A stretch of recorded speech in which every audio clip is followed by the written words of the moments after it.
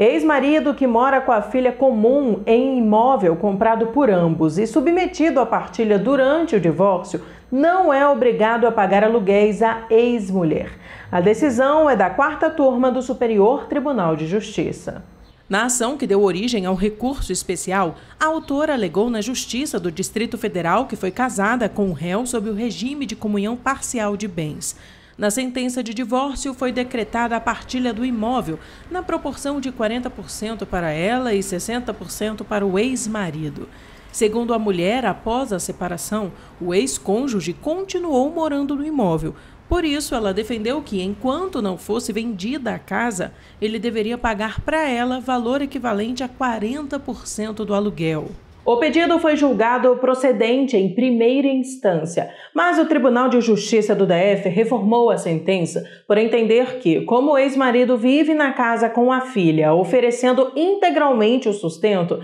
não há que se falar de enriquecimento ilícito ou recebimento de frutos de imóvel comum por se tratar de alimentos in natura. Ao negar provimento ao recurso especial da ex-esposa e manter acórdão do Tribunal de Justiça do Distrito Federal, os ministros da quarta turma entenderam que o fato de o imóvel servir de moradia para a filha, além de impedir a tese de uso exclusivo do patrimônio comum por um dos ex-cônjuges, o que justificaria os aluguéis em favor da parte que não usa o bem,